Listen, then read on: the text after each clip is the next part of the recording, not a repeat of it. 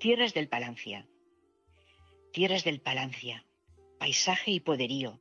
y en sus andares honores desde los siglos de los siglos, donde se bebe frescura desde lo alto de sus cerros, donde circunda a pocos metros el mar Mediterráneo, sujeto al paisaje más verde azulado, ondeándole el cielo, donde sufrir es reír al mismo tiempo cuando asiente el orgullo de tan codiciados recuerdos pasados y vivos.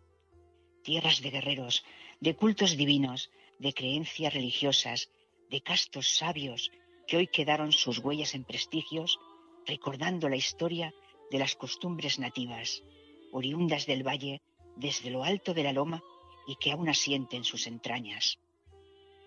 donde los aromas del azar ríen sobre sus ramas, orgullosos de crecer y beber de la frescura del Palancia,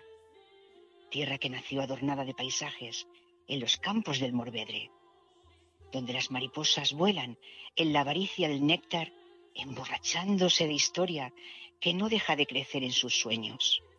aleteando sobre fragancias de los suspiros entre parajes frondosos y ramajes hechizados como en un poema.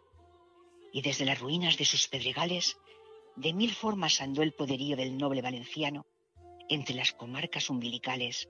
que hoy describen profundo, aun en el mudo silencio, del guerrero victorioso. Las campanas de los templos suenan, gritan, rugen y ríen al mismo unísono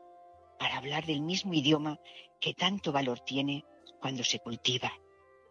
Tierras con linaje, de historia que no acaba, pasando por cadenas de años donde las raíces reposarán vivas mientras no se olvida el poeta, que nació, creció y ennobleció con su nombre su tierra.